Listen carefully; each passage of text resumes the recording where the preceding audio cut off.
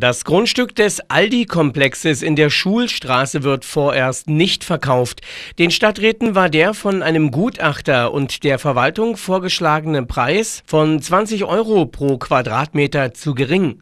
Die Stadt solle mindestens den Durchschnitt der Grundstückspreise in dieser Altstadtlage fordern, hieß es im Verwaltungsausschuss. Von 46 Euro war dort die Rede. Am Rande der Diskussion wurde bekannt, dass der Supermarkt nicht wie angekündigt geschlossen wird, sondern am Standort verbleibt.